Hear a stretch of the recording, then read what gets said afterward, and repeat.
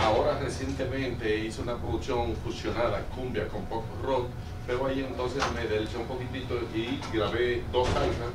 y eh, eh, le han gustado al público y entonces estamos en eso, promoviendo el tema Bella que eh, ha estado escalando a nivel nacional e internacional y con eso gané